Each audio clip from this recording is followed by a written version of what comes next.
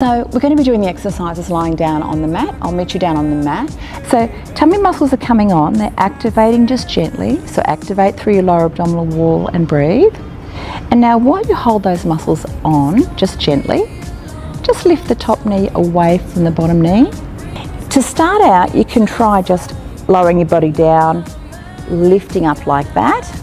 I like to bring a thumb, or my hand with my thumb pointing upwards, onto my hip and I direct that straight up to the ceiling. So that way you get the right muscles working. In that position again, shoulders back away from your ears, inward curve in the back, just check your position before you start. Now draw your lower abdominal muscles on just very gently and let's take one leg out behind. So tummy muscles are on in that position and you might like to hold it there or you can then progress to actually lifting that leg off the ground